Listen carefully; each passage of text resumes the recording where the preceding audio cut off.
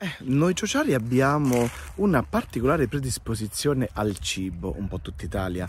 però l'agricoltura, gli allevamenti, le nostre terre, beh, il Signore non poteva scegliersi un alimento migliore del pane per manifestarsi e per condividere se stesso.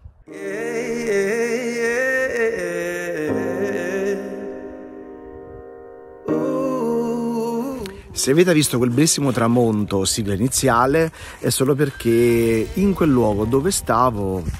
la particolarità di quel panorama e quel rosso splendido,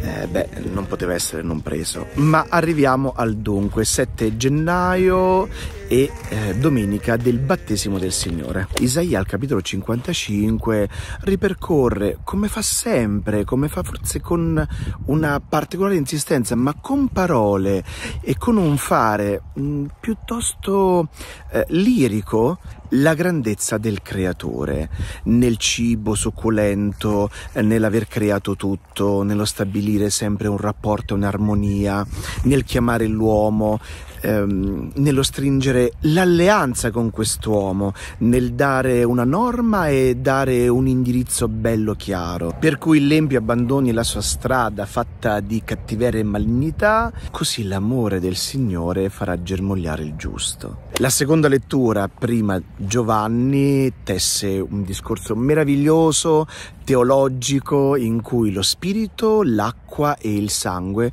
diventano i tre elementi che vivificano questa terra, l'uomo, eh, anche il pensiero, la sua razionalità, la ricerca delle cose buone, per cui nell'acqua c'è la forma della benedizione, il sangue, la forma del sacrificio, ma non come la farebbe un uomo, come la farebbe Dio attraverso il suo spirito. Per cui il Cristo proprio perché è principio della divinità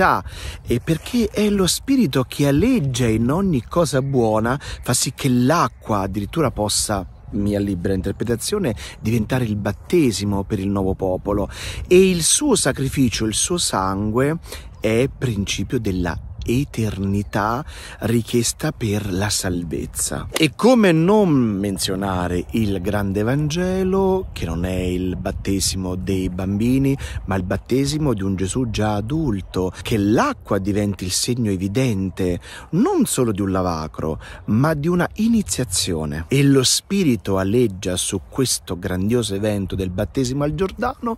come la grande forma della grazia di Dio che manifesta all'uomo che questi è veramente il figlio unigenito. In lui tutti si compiaceranno, in lui tutti verranno salvati. Eh, sarebbe bello essere battezzati da grandi, un po' come fanno gli evangelici, un po' come fanno anche i protestanti, perché eh, viene da sé che ci vuole un po' della maturità umana, un po' di quegli anni in più